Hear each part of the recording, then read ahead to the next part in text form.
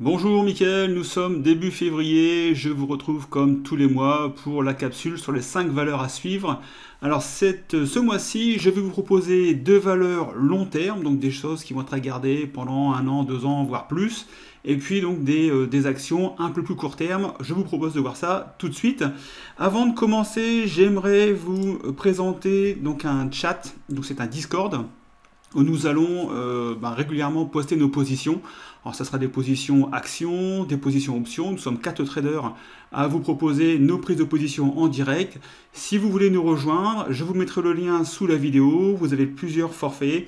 Vous avez un forfait découverte pour un mois à 5 dollars et vous avez ensuite un abonnement mensuel à 15 dollars un abonnement trimestriel pour 40,50$ donc pour 3 mois, et vous avez également un abonnement annuel pour 144$ pour euh, un an, ce qui vous fait 20% de remise. Donc si vous voulez voir nos prises de position en direct, en plus des 5 valeurs que je vais vous proposer aujourd'hui que moi je suis personnellement. Donc je ne vous dis pas d'acheter ces valeurs, mais moi c'est personnellement des valeurs que je vais suivre sur ce mois de février pour ben, possiblement avoir des points d'entrée euh, sympas si jamais ça devait se confirmer. Alors je vais revenir sur le graphe. Rapidement, je vais refaire un petit tour d'horizon sur les 5 valeurs que je vous ai données le 29 décembre. On a eu de très très belles performances, donc je suis assez content de vous avoir euh, ben, proposé ces valeurs. J'espère qu'après votre analyse personnelle, ben, vous avez pu euh, peut-être rentrer sur ces valeurs et prendre des bénéfices sur les points que j'avais indiqués. Je vous propose de voir ça tout de suite. Alors au niveau de Macy's, donc on était ici, alors je vous ai mis un petit trait rouge ici vertical pour euh, donc, euh, la date où j'ai fait la dernière vidéo sur les 5 valeurs que j'allais suivre. Il y avait un point d'entrée qui avait été déterminé autour des, alors je vais reprendre ici, voilà, on était autour des 12 dollars 12. Il y avait un premier point d'entrée ici. On a fait euh, un petit, comment, une continuation haussière ici après avoir cassé la résistance. On est revenu reprendre appui comme bien souvent sur le support de l'ancienne résistance. Et là, on a poussé puisque je vous avais proposé un trade où on avait une prise de bénéfice autour des 54%. Bah, écoutez, ça s'est fait en... Alors si vous avez pris le deuxième point d'entrée, ça s'est fait en l'espace de 4 séances. Donc 54% en 4 séances. Bah, écoutez, je suis plutôt satisfait de la performance. Si vous êtes toujours en position aujourd'hui, on doit être sur, une plus-value d'à peu près 11%. Euh, Mais vu que j'avais mis dans la vidéo Ici, une prise de bénéfice autour des 19 euh, dollars. Si vous, avez, euh, si vous avez pris vos profits sur les 19 dollars, vous avez fait une performance de 54%. J'espère que vous en avez profité. Donc, premier trade plutôt sympa. Dillards, c'est pareil. Dillards, je vous avais proposé cette valeur-là. On venait venu reprendre ici bah, parfaitement un point d'entrée sur le support donc, de l'ancienne résistance ici, donc breakout. Et là, c'est pareil, on casse. Et alors, l'objectif, était, alors on a fait 123% au plus haut, mais bien sûr on ne vend jamais au plus haut. L'objectif de 49,57%, c'est-à-dire 50%, a été fait, c'est pareil, en l'espace d'à peu près deux semaines. Donc 50% de plus-value sur deux semaines. Si vous avez suivi le plan de trade que je vous avais positionné ici, vous avez pu prendre 50% de plus-value. Encore une deuxième belle performance. KSS Cols, la Cols, alors pour l'instant on est toujours en deçà, il y avait un point d'entrée qui se situait autour des 43,50$. On est à 43,38$. Pour l'instant, on reste scotché ici sur cette ligne de tendance. Résistance qui la sert de support. On a cassé légèrement le support hier. Si vous êtes en position, on a de toute façon un risque reward ici qui avait été calculé. Voilà, on a un stop autour des 34,52. Si vous êtes rentré, bah, vous êtes toujours en position. Après, bah, à vous de voir si euh, bah, vous estimez que le risque est trop important et à ce moment-là, vous sortez de la position. Mais globalement, quand on prend un, trade, on a calculé son risque et puis ben voilà, on pense que euh, si effectivement ça va toucher le stop, et eh ben ça fait partie du jeu. On ne fait pas 100% des trades gagnants.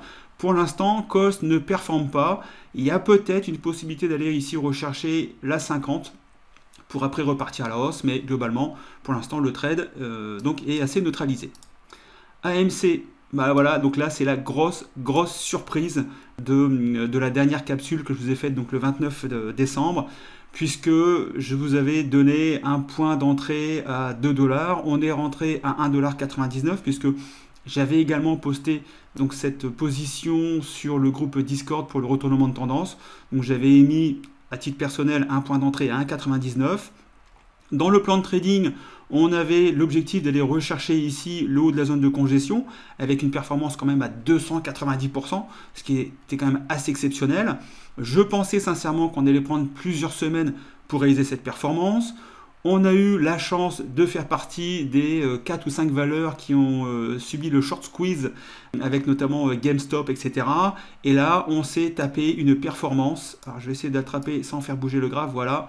On s'est tapé une performance de 910% en l'espace. Alors, c'est pareil, on était ici en l'espace de d'à peine un mois. Donc, 900% sur un mois. Écoutez, je suis très très content de cette performance même si effectivement on a eu un facteur chance, mais globalement, si vous n'êtes pas sorti euh, au plus haut, alors je sais que parmi euh, donc les membres de la formation retournement de tendance, beaucoup sont sortis ici entre les 17 et les 19 dollars.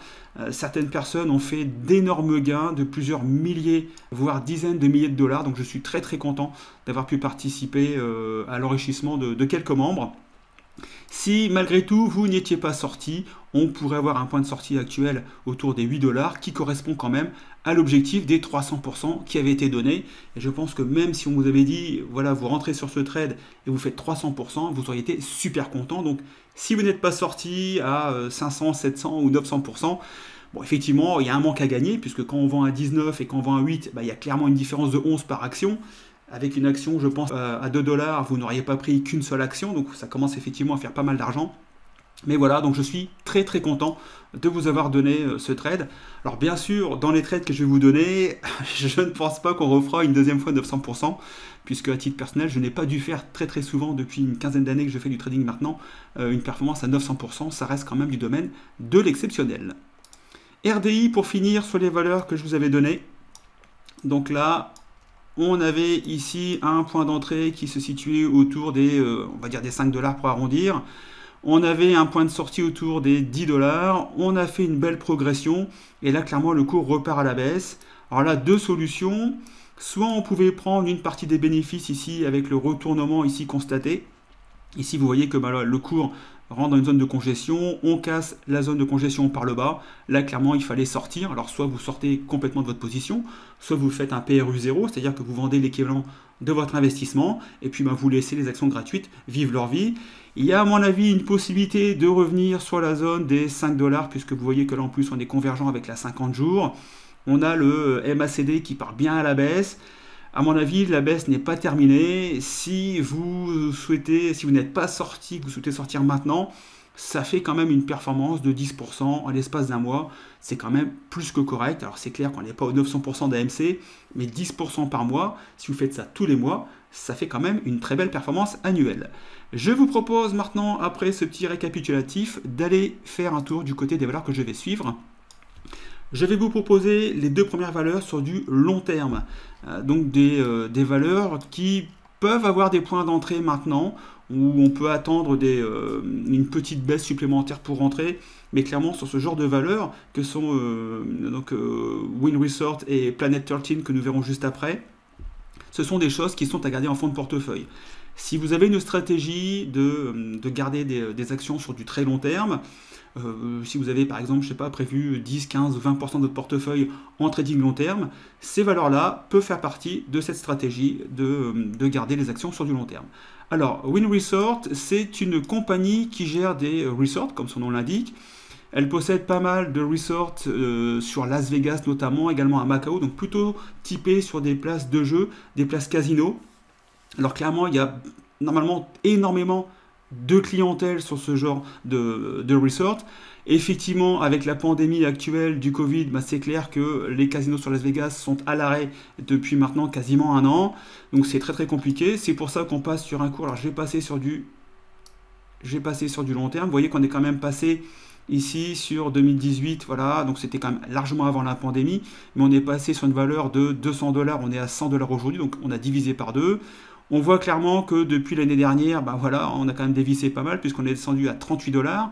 On est quand même malgré tout remonté à 106 dollars alors que le business n'a toujours pas repris. Donc clairement, je pense que c'est une valeur qui, alors soit on peut rentrer maintenant, moi à titre personnel, j'ai mis une, une, alerte, je vais vous montrer ça tout de suite. Voilà, j'ai mis une alerte. Si on devait revenir sur cette zone ici de support résistance, alors c'est assez léger, mais on est également convergent ici avec la 200 jours. On a ici une ligne de tendance. Donc je pense qu'un prix entre 85 et 88 dollars bah, serait un bon point d'entrée pour holder cette position sur du très long terme. Donc voilà un peu ce que je vais, euh, ce que je vais regarder. Alors je voulais vous présenter, j'avais noté ça ici, voilà, donc voilà le genre de resort que, que possède Win Resort. Vous avez ici donc sur Las Vegas, vous avez également sur Macao. Je vais vous montrer ça tout de suite, voilà. Voilà, donc ça ici c'est le, resort sur Macao, c'est juste magnifique. Je sais qu'également ils ont des velléités de développement sur la construction de, resort ou de rénovation de resort. Donc pour moi, clairement, quand le marché du loisir va réouvrir avec la fin de ce virus, puisque euh, il y a bien un jour où on va, euh, avec les vaccins, etc., avec la recherche, on va vivre euh, soit avec ou sans le virus, on verra bien. Mais clairement, sur du moyen terme, c'est-à-dire fin 2021, 2022, voire après, on risque d'avoir des très belles performances. Je pense qu'on pourrait très sincèrement revenir sur des plus hauts historiques, c'est-à-dire autour des 200 dollars, ce qui ferait quand même une performance de 100%. Alors clairement, si vous faites 100% sur 2, 3 ou 4 ans, ça reste quand même une très très belle performance. Donc voilà pourquoi je voulais vous présenter Win Resorts. La deuxième société, toujours basée sur Las Vegas, donc juste à côté de l'Arizona, sur le Nevada. Donc c'est Planet 13, qui est un distributeur de cannabis. Je ne sais pas si vous avez suivi un petit peu l'activité de la marijuana, je la suis depuis maintenant 3 ans. On a eu un gros pump il y, a, il y a 4 ans, on a pris après une baisse hyper importante, et là je pense qu'on est sur des niveaux de prix où euh, bah, il va falloir commencer à regarder au niveau euh, des secteurs de la marijuana en général. Planet 13 fait partie des distributeurs, donc c'est un gros distributeur sur Las Vegas, qui ont pareil des velléités de développement relativement importants. Ils veulent carrément créer des superstores de, euh, de marijuana. Je vais vous trouver, je ne l'avais pas noté, mais je vais vous trouver ici euh, le site de Planet 13. Voilà, je vais vous le faire en direct pour vous montrer un peu le, le website. Voilà, donc ils sont à Las Vegas. Voilà, donc vous avez, donc vous pouvez aller faire un tour, donc c'est plein de tortilles de Las Vegas, vous verrez un peu donc les différents produits, donc le site est très bien fait, bon ça c'est assez facile à faire un site, mais clairement vous avez euh, bah, pas mal de produits, euh, je vais retrouver ça, je vais vous montrer ça en direct, j'avais préparé, alors vous avez en plus des, voilà, des discounts, etc., euh, discounts sur la marijuana, ne parlez pas de ça en France, merchandising peut-être aussi, voilà, enfin, vous pouvez faire un tour sur ce site-là et vous verrez, voilà, donc euh, ils sont euh, voilà, à l'américaine, hein, on fait tout de suite du merchandising, etc. Donc une très bonne société. Donc, au niveau, bien sûr, pas de dividendes sur, euh, sur ce genre de société qui est quand même assez, assez récente. Vous voyez qu'au niveau graphique, on est sur un MACD ici qui est fortement en baisse. On risque d'avoir ici un retournement assez, assez prochain au niveau du, du MACD. Au niveau graphique, on est sur le bas d'une zone de congestion. Clairement, pour moi, ça reste ici une zone d'achat relativement euh, valide.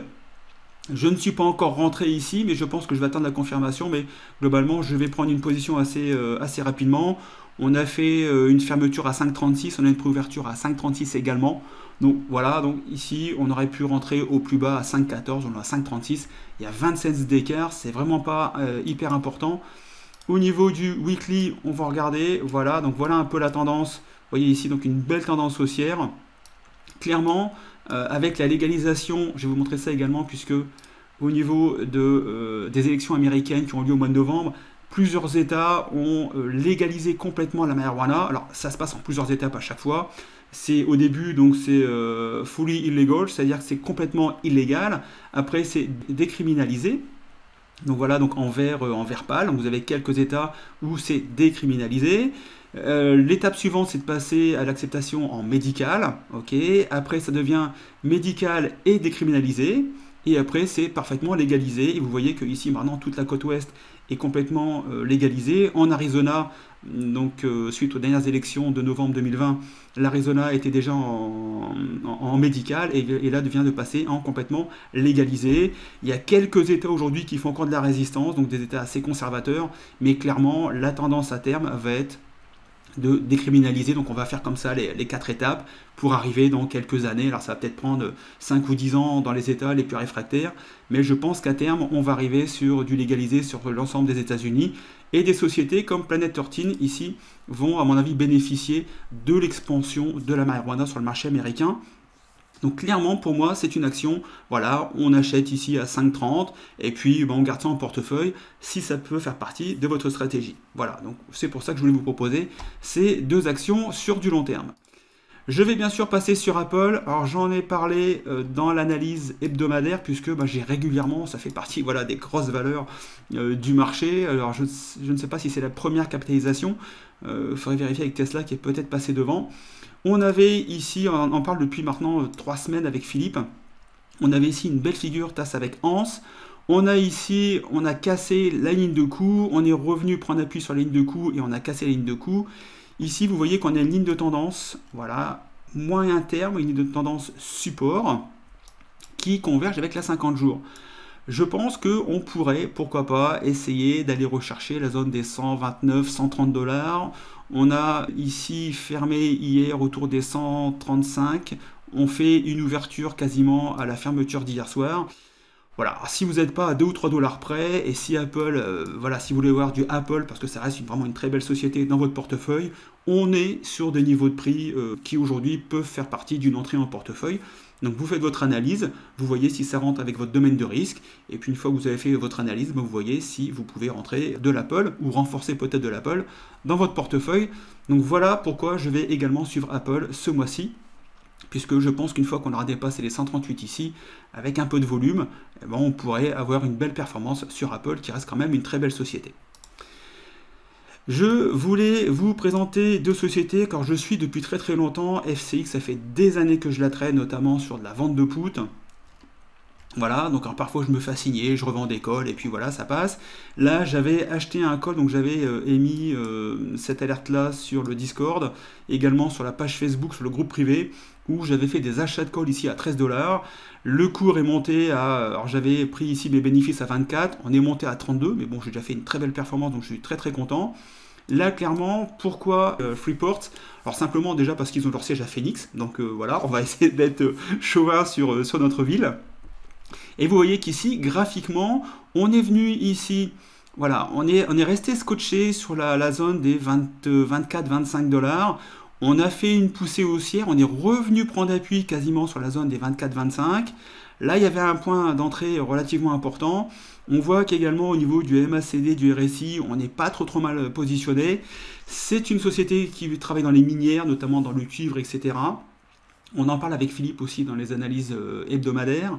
Euh, l'activité va reprendre, indéniablement à un moment donné l'activité va reprendre et on aura besoin de matières premières et euh, Freeport McMoran fait partie des sociétés qui à mon avis pourront bénéficier de, la reprise économique par la fourniture de matières premières. En plus, avec le phénomène un peu short squeeze qu'on a sur les SLV en ce moment, je pense que même si elle ne fait pas d'argent, elle pourrait quand même bénéficier de l'élan qui va arriver sur les valeurs minières, dont FCX est quand même une très très bonne société, c'est une société qui est assez solide. Donc je suis assez confiant.